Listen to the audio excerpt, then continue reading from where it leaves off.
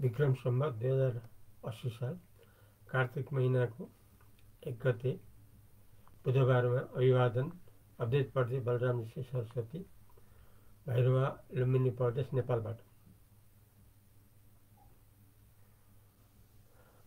आजको विषय हो आनन्दै आनन्दमा रहिरहन सक्नु हो मानिसको जीवनको पूर्ण सफलता। आनन्दै आनन्द मात्रामा रहिरहन सकिरहनु हो। मानिसको जीवनको पुरा सफलता। आनन्दै आनन्द मात्रामा यदि रहिरहन सकिएन भने बुझ्नु पर्यो आफ्नो जीवन असफल भइराखेको छ। किनभने आनन्दको आनन्दै आनन्दको अनुभव भइरहन सकेन। हुन सकिरहेन यद्यपि आनन्दै आनन्द छ केवल आनन्दै छ हो वास्तवमा आनन्द बाहेक अरू यथार्थमा छैन यसैले सबैको आनन्दै आनन्द रूपले रहिरहनु स्वाभाविक हो संसारका मानिस हामी सबैको आनन्दै आनन्द मात्रामा रहिरहनु यो स्वाभाविक हो। हुनुपर्ने यही हो। यदि भएको छैन भने त्यो अस्वाभाविक भयो। अनौठो भयो आश्चर्य भयो। किनभने आनन्दै आनन्द मात्रै मानिसको लागि सधैँ सम्भव छ भइरहनु सम्भव छ। साक्षात् अनुभव गरेर रहिरहन सम्भव छ भने यस्तो सुलभ अवस्थामा सुखै सुखको आनन्दै आनन्दको अनुभव यदि गर्न सकिरहिएको छैन भने त्यो आश्चर्य हो। अस्वाभाविक हो स्वाभाविक होइन। स्वाभाविक हो आनन्दै आनन्द मात्रले रहिरहन सक्नु। यस्तो यथार्थ त वैदिकले संसारका हामी सबैलाई यस्तो ठाउँमा पुर्याएको छ। वैदिकले हामीलाई आनन्दै आनन्दमा रहिरहन सक्ने यस्तो अवसर देखाइरहेको छ। जिन्दगीभर लगातार अखण्ड रूपले यस्तो छ हर हालतमा। तर गडबड कहाँनिर भयो भने दुई किसिमको गडबड भयो। संसारका हामीले यदि आनन्दै आनन्द मात्रामा रहिरहन सकिरहेका छैनौँ भने बुझ्नु पर्यो हामीमा दुईवटा गडबडी छ। साह्रै ठुलो गडबडी। जो हुन नपर्ने थियो त्यो हुन गइराखेको छ दुईवटा कुरा। एउटा कुरा के भने हामीहरूको सधैँको स्वाभाविक स्वरूप हो शिव अथवा परमात्मा अथवा ब्रह्म जुन मनपर्छ त्यही नामलाई लिँदा हुन्छ। शिवभन्दा मनपर्छ कि परमात्मा भन्दा मनपर्छ कि ब्रह्मभन्दा मनपर्छ कि जुन मनपर्छ त्यही लिने अथवा तिनटै लिए पनि भयो दुइटै लिए पनि भयो यस्तो हाम्रो स्वाभाविक स्वरूप हो। सधैँ सधैँको मूलत मौलिक स्वरूप हो। संसारका हामी सबैको मानिस सबैको।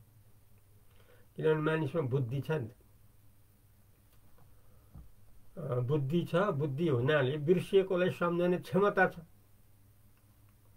बुद्धि छ भन्नुको मतलब हो जो हामीले बिर्सिएका छौँ त्यसलाई सम्झने हाम्रो हैसियत छ।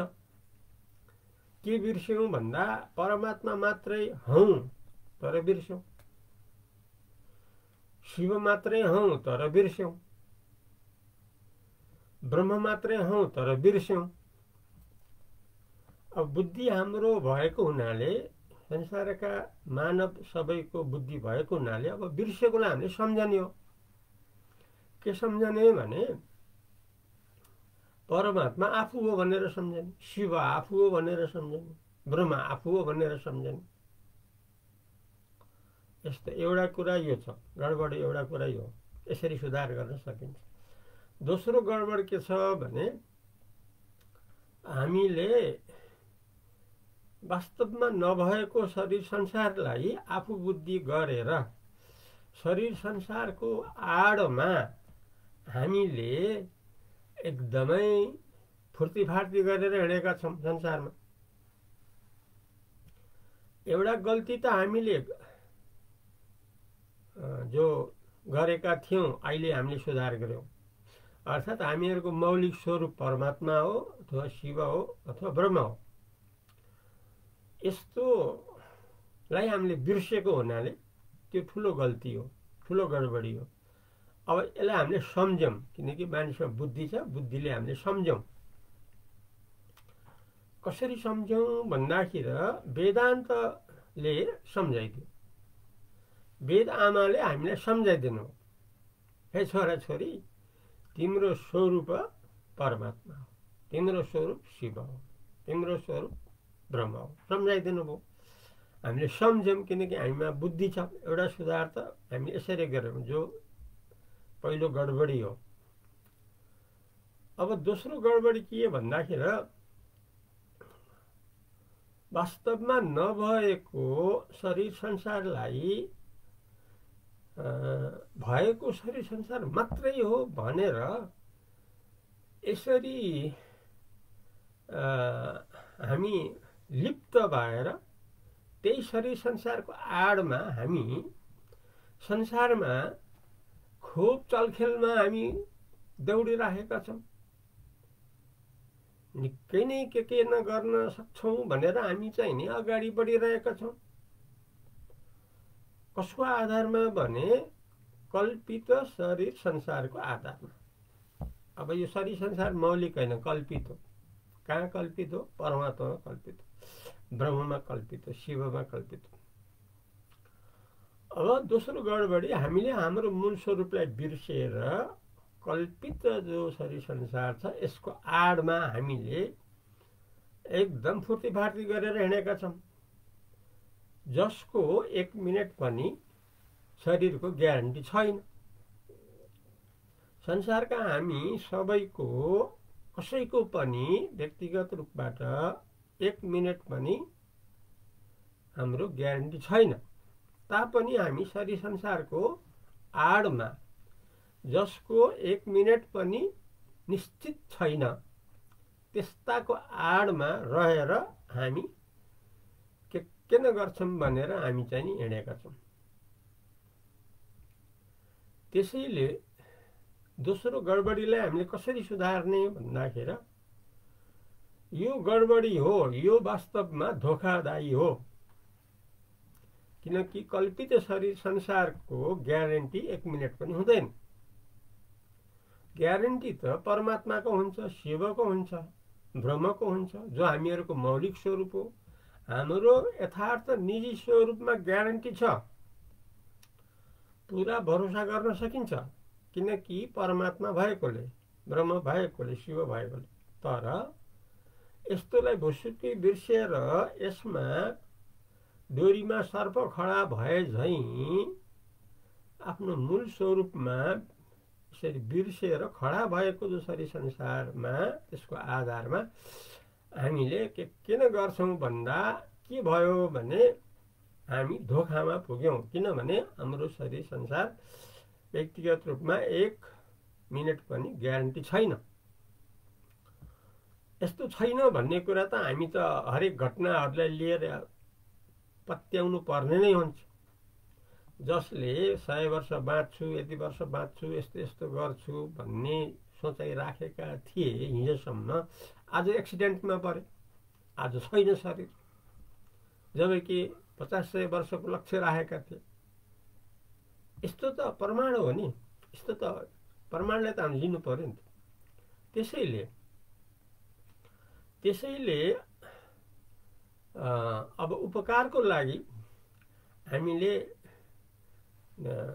जीवनमुक्त देहमुक्त जो जनक हो राजा जनक हो जो गुरु अष्टावक्र गुरु हो गुरु अष्टावक्र शिष्य जनक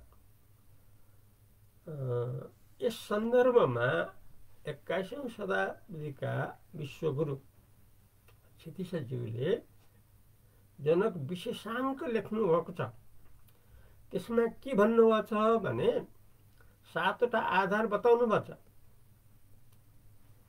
के का लागि भन्दा आनन्दै आनन्दमा मात्रमा रहिरहनका लागि। संसारका हामी सबै सातवटा आधार बताउनु पर्छ त्यो के के हो भन्दाखेरि विवेक हुनु पर्यो। एक दुई वैराग्य हुनु पर्यो। तिन विचारमा रहन सक्नु पर्यो चार तत्त्व विनिश्चय हुनु पर्यो अर्थात् तत्त्वमा अत्यन्त निश्चय रूपमा रहिरहनु पर्यो अनि त्यसपछि ईश्वर दर्शन गरिरहन सक्नु पर्यो परमात्मा आफू हो शिव आफू हो ब्रह्म आफू हो भनेर सदा केवल जो अनुभव छ सदा स्वयं प्रकाश जो छ जो स्वभावैले आनन्दै आनन्द छ जसलाई सचिदानन्द भनिन्छ जो सबैको मौलिक स्वरूप हो। यसको दर्शन गरिरहन सक्नु पर्यो यो हो ईश्वरको दर्शन।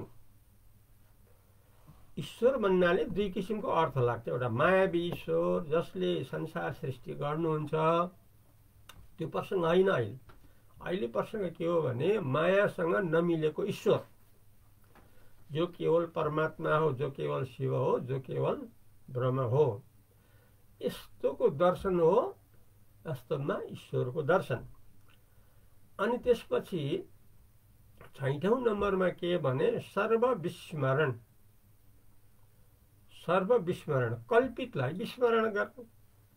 जो अनवस्था छ जो वास्तवमा होइन जो यथार्थमा स्वप्न रूप हो जो आज छ भोलि छैन यस्तालाई विस्मरण गर्नु बिर्सिदिने। किनभने आफू त परमात्मा हो नि ब्रह्म हो नि शिव हो नि त जो हो त्यही अनुसार रहनु पर्यो नि त हामी।